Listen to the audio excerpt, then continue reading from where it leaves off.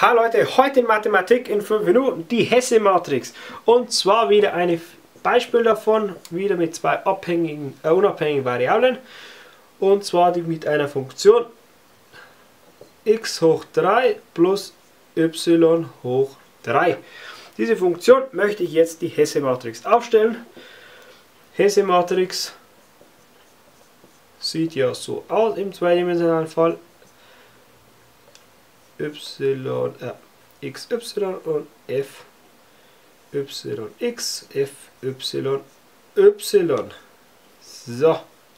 Also das bedeutet immer hier die zweifache Ableitung nach x, hier erst nach x abgeleitet, dann nach y, hier nach y, dann nach x, hier wieder zweimal nach y abgeleitet. So, das Ganze starten wir jetzt hier mal mit f von x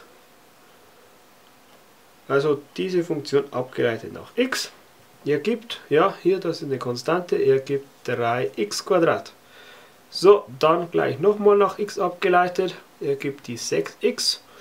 Hervorragend, ging ja schön einfach.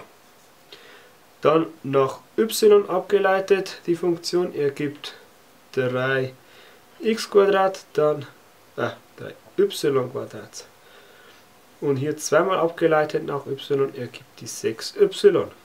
So, dann f von xy, also nehmen wir das hier, das nach y abgeleitet ergibt die 0 und yx muss ja dasselbe sein wie das. Also das nehmen nach x ableiten, ihr seht, aha, ergibt auch die 0, weil es ja hier die Konstante ist. So, jetzt habe ich hier wieder meine vier Teile. Teil 1, Teil 2, 3, 4 setze ich jetzt wieder ein und erhalte dann 6x, hier die 6y und hier die 0, 0.